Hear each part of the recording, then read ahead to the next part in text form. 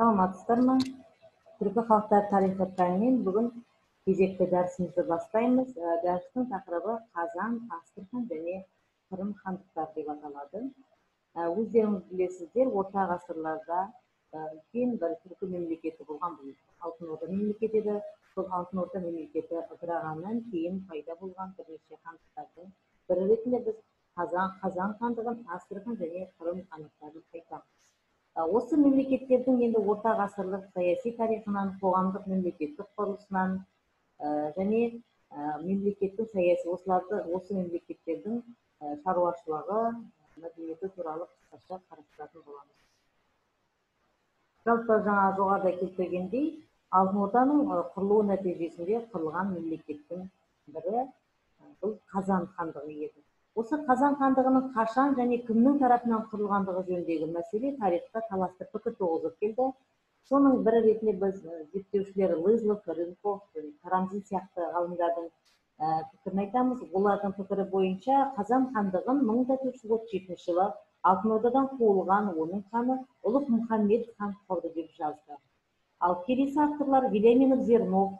Қазақ хандығының негізін қазан хандығының негізін мың да төрт жүз қырық бесінші жылы ұлы ұлық мұхаммедтің ұлы махмүдтек қалаған дейді.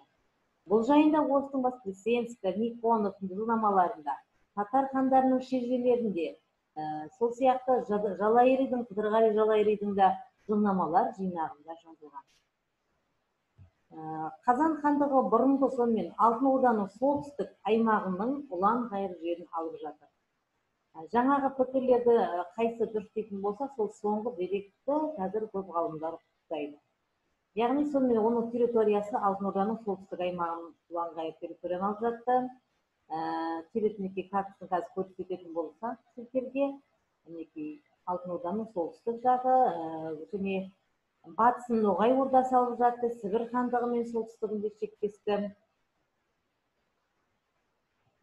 Сол сияқты бір құрамында оның бірқатар түркі тілдес фин угор халықтарының кіргендігі жайында деректері бар.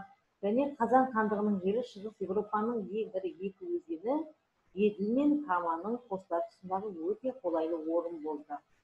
Көп ұлтты болғанмен негізгі халқы қазан хандығының бұл татарлар еді. Қазан хандығының шаруашылығына сипаттап кететін болсақ негізгі шаруашылық түрі бұл егіншілік болды. Егіншіліктің пар жүйесі дамыды бидай суы арпа бидай тары қарамұқ қарақұмық бұршақ сияқты дәнді дақылдар өсірілді. Малдан мал шаруашылығымен айналысты малдың жылқы сиыр мүйізді ұсақ малдар түрлері өсірілді.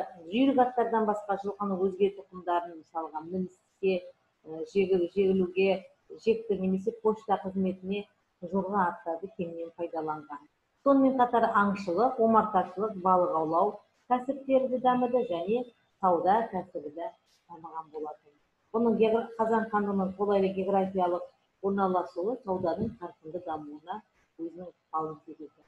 Мемлекеттік басқару ісі мен қоғамдық құрылысына келетін болсақ әрине бұл қазан хандығы бұған дейінгі түркі мемлекеттерін оның ішінде алтын орда сияқты мемлекеттердің басқару мемлекет басқару және мемлекеттік құрылым жүйесін қабылдады.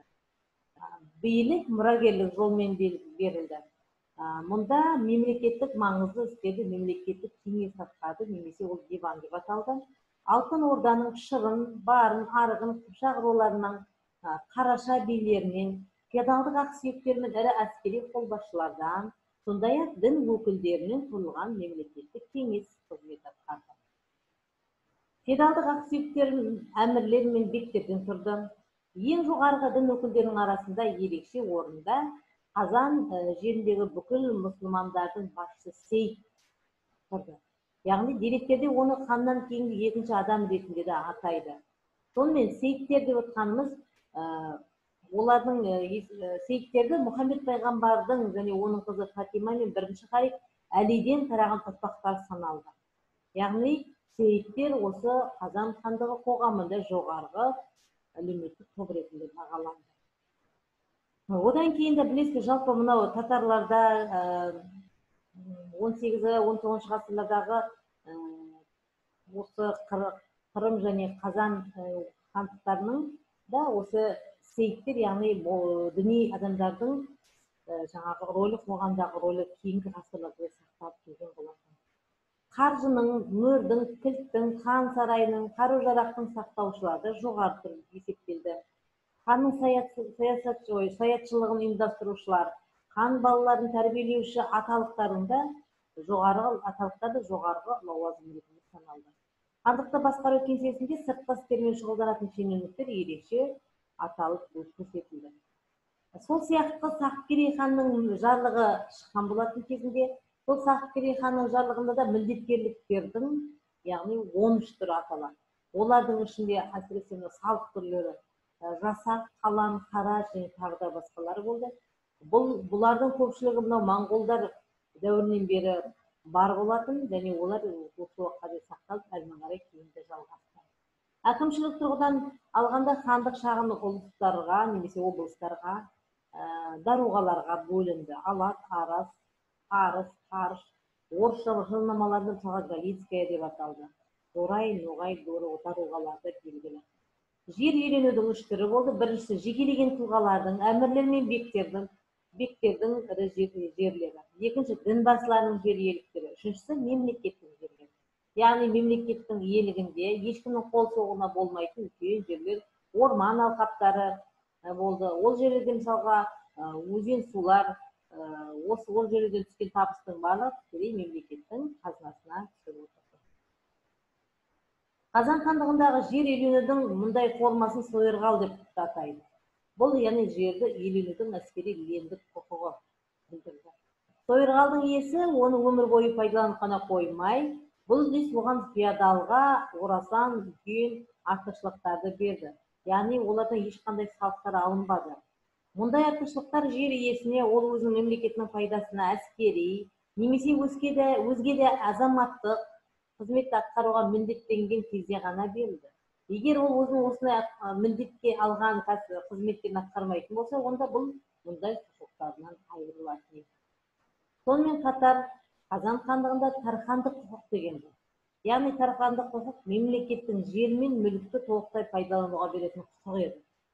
Мемлекеттің жері мен мүлкін толықтай пайдалануға беретін құқық аталды мырзадан төмен сатыда оғландар тұрды. Оғлан деп әскери қызметтегі феодалдарды айтатын феодалдық әсеттер ең сол ең төменгі сатысында казактар тұрды. Казактар феодал тархандар мен шаруалардың негізгі бұқарасының арасындағы аралықта тұрды. Алайда олар маңызды мемлекеттік істерді шешуде билеуші топ сүйенетін едәуір күшті құрайды. Казактар да жерге хан жерді ханға әскери мемлекет яғни мемлекетке қызметке қызмет еткені үшін алып отыр. Хан мен мемлекетке қызмет үшін қазақтарға да жер беріледі қатардағы қарапайым адамдар қазан хандығында кәшалар деп аталды кәшалар. Оларды басқаша құл деп атайды бірақ бұл бұлар тарханға тәуелді егінші деген мағынаны білдірді. Енді бұл жерде құл дегенде қазіргі классикалық үлгідегі классикалық түрдегі құлдар емес оларға қарағанда белгілі бір дәрежеде бостандықтары бар шаруалар еді. Сонымен осы қазан хандығы он бесінші он алтыншы ғасырдың ортасына қарай ресейдің қосып алуы. Жүзеге асады. Қазан хандығын бағындыру мақсатында бірнеше ол дипломатиялық және әскери әрекеттер жасаған болатын. Ол кезде орыс патшасы иван грозный жүз елу мыңдық әскерімен қазанды қоршауға алады қазан қаласын қазанды басып алуды жеңілдету үшін елдің жоғарғы ағысында углич маңында ағаш қамал тұрғызылады мұнда қазаннан отыз шақырым жерде қазан қаласын басып алу үшін тірек пунктіне айналған свияжский қаласы тұрғызылады осы қамал және қоршау құралдарын тұрғызу жұмыстарын кезінде аса талантты шебер иван григорьевич выродков басқарған дейді сонымен қазанды қоршау жиырмасыншы тамыз бен бірінші қазан аралығында жүргізіледі. Мың да бес жүз елу екінші жылы бірінші қазанда қамалдың астына қазылып қойылған қырық сегіз күбі оқ дәріні жарудың нәтижесінде қазанның ішкі қабырғасының бір бөлігі қиратылады осылайша қамалды қирата отырып орыс әскерлері қазан қаласының ішіне кіреді. Қазанның хандығының ханы жәдігер мехмет тұтқынға алынады. Кейінірек ол христиан дінін қабылдайды қазан хандығының бағындырылуы орыс мемлекетіне шығысқа қарай вятка мен пермьге қарай оңтүстікке қарай камаға дейінгі кең байтақ жерлерді иеленуіне мүмкіндік берді. Мәскеу мемлекетінің мақсаты осы бүкіл бұрынғы алтын ордаға алтын орданың иеліктерін бағындыру еді. Келесі хандық астрахан хандығы. Хандығы алтын орданың түбегейлі ыдырауының алдында сәл алдында. Мың да төрт жүз елу тоғызыншы жылдан бастап бөлектене бастайды дербес мемлекет бола бастаған еді сөйтіп алтын орданың алтын орда ханының туысы махмудтың атымен байланысты яғни хандықтың бөлініп шығуы. Алтын орда ыдырағаннан кейін мың да төрт жүз сексен бірінші жылы оның соңғы ханы ахмет ханның өлімінен соң астрахан хандығы түгелей дербес түгелдей дербес мемлекетке айналады. Астрахан хандығының территориясының бойын территориясы сонымен қай жерлерде дейтін болсақ батысында кубан өзені мен дон өзенінің төменгі ағысына дейін шығысында бузан өзеніне дейін және ноғай ордасымен шектесті оңтүстікті терек өзеніне дейін. Солтүстікті еділ мен донның ең тар сағасына дейінгі жерді алып жатты. Астрахан хандығы осы алтын орда мемлекеті ыдырағаннан кейін мемлекеттердің ең кішісі болды. Міне территориясын қарап алыңыздар. Жаңа айтып дон өзені мен ноғай ордасымен шектесіп жатыр каспийдің солтүстігі батысына қарай орналасқан мемлекет оның тұқымдары негізінен еділ бойында шоғырланған көшпелі мал шаруашылығы және саудамен айналысты. Тұрғындарының саны да өте көп болған жоқ он бес жиырма мыңдай ғана болды. Ханның қарулы күштері ары кеткенде үш мың адамды құрады. Осыған да байланысты болар астрахан хандығы бейбітшілік көрші елдермен бейбіт қарым қатынасты ұстап отыруға әрекеттенді. Ылғи соғыс жанжалдардан қашықта жүрді. Сол үшін ноғай ордасы мен қырым хандығына да тәуелді болып отырды. Хандықтың орталығы сонымен орта ғасырлық астрахан қаласы еді. Алғашқыда бұл қазіргі астраханнан жетпіс шақырым жоғары орналасқан итиль қаласы болды. он үшінші ғасырдың соңына соңында қазіргі астраханнан он екі шақырым жоғарыда орналасқан еділдің оң жағалауындағы алтын ірі қалалардың бірі астрахан деп аталған жаңа қала пайда болады. Астрахан дейді оны саяхатшылар кейде. Астархан деген атау туралы көптеген аңыздар бар. Солардың бірі мұнда дейді сармат тайпаларының ұрпақтары астар өмір сүрген яғни олар ұлы хан батудан тархандық алғандықтан бұл бұлар астархан деп аталып кетті деген бір нұсқа бар. Келесі мың да тоғыз жүз тоқсан бірінші жылы тарихшы өлкетанушы жалжановтың айтуы бойынша хаджы тархан атауы хаджархан сөзінің негізінде пайда болған деген болжам ұсынады ол екі сөзді айтады яғни хаджар сөзі хазар дегенді білдіреді хан сөзі кент дегенді білдіреді. Яғни хазарлардың қаласы деген мағынадан шыққан дейді хазарлардың қаласы одан кейін көне астрахан туралы тағы да бір аңыздарда қыпшақ ханның ұлының поляндық астраға ғашық болуы туралы айтылады да осыдан келіп қаланың аты астрахан аталды дейді. Астрахан жерінде болған араб саяхатшысы ибн батутаның пікірінше өзі мынандай жазба қалдырып кетеді. Қажы тархан деген сөз ә, бұл түркі тілінен алғанда қажы қажылыққа барған адам және ол қоныстанған жер деген мағынаны береді. Сондықтан оған тархан атағын сыйлаған сол жерде қоныс пайда болып кейін ол үлкен қалаға айналған деп астрахан сонымен халықаралық сауданың үлкен орталығы болып саналды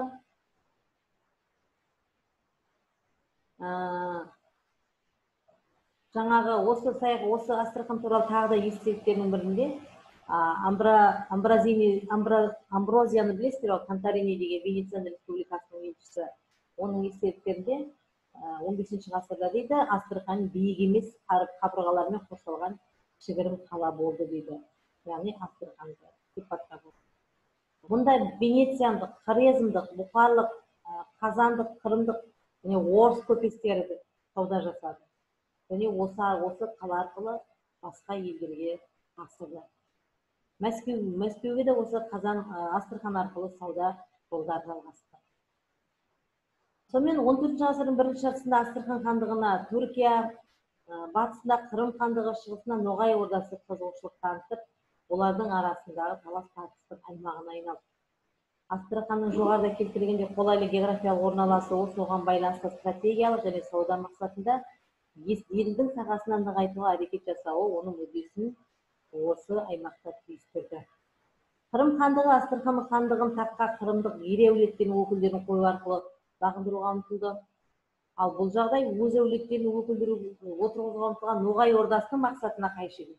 Мінекей сөйтіп көрші мемлекеттер өзінің билігін жүргізу үшін астраханға осылайша қайта қайта талас туғызып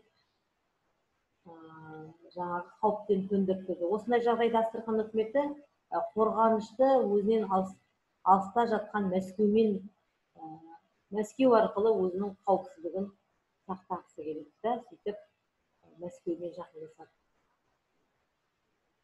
астрахан хандығының жалпы тұрғындар негізгі кәсібі көшпелі мал шаруашылығы болды қосымша аң аулау мен балық аулау егін егу бұнда бойынша тараған жоқ ал балық аулау аңшылық жаңа айтқан көшпелі мал шаруашылығы кеңінен дамыды саудасы жақсы дамыды сонымен осы астраханның ресейден көмек сұрауы және бұның ресейдің өзінің мақсатымен де ұштасып жатыр. Ресейді жаңа мен жоғарыда келтірілгендей қазан астрахан қырым хандықтарын жаулап алу өзінің бұрынғы мақсаты бар еді. Яғни осы алтын орданың жерін иелігін өзіне қарату. Сөйтіп мың да бес жүз елу төртінші жылы көктем мен шілде аралығында ресейдің астраханға бірінші жорығы ұйымдастырылады. Соғыстың мақсаты ямгучу ханды орнынан алып астрахан хандығын әлсіретіп талқандау мәскеуге вассалды ету еді сөйтіп ямгучу ханның елшіні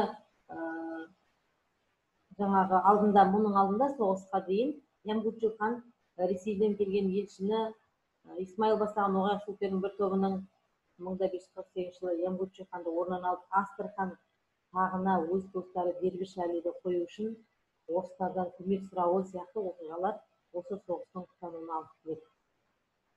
Сөйтіп